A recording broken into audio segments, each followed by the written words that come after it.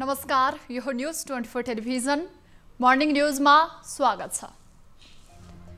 गत मङ्सिर तेइसको मन्त्री परिषद बैठकको यति कम्पनीलाई गोकर्ण रिसोर्ट लिजमा दिएको पहिलो समय सीमाको म्याद सकिन छ वर्ष बाँकी हुँदै पच्चिस वर्षका लागि पुनः जिम्मा दिएको थियो। जसको यति बेला विरोध भइरहेको छ।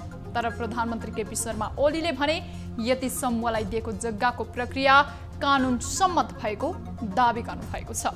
र पूर्ववर्ती सरकारले गरेको कानुन विपरीत कामलाई आफूले मिलाएको समेत दावी गर्नुभएको छ। उता नेपाली काङ्ग्रेसको विवाद सतहमा आएको छ।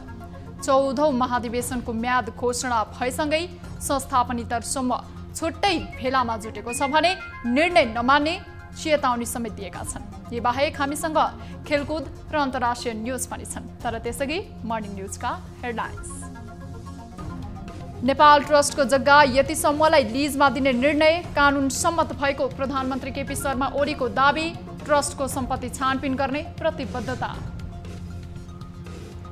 दस बुधे घोषणापत्र जारी गर्दै सकियो साथै प्रदेशका गृहमन्त्रीको भेला प्रदेशको शान्ति सुरक्षाको विषयमा सङ्घीय सरकार गम्भीर नबनेको गुनासो लोड नभए पनि बेला बखत बत्ती जाँदा सर्वसाधारण हैरान विद्युत प्राधिकरण भन्छ संरचना सुधारका कारण आपूर्तिमा समस्या।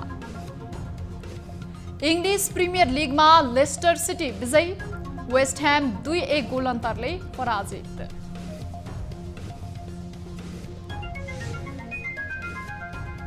र भारतमा अत्याधिक चिसोका कारण ज्यान गुमाउनेको सङ्ख्या उनासाठी पुग्यो।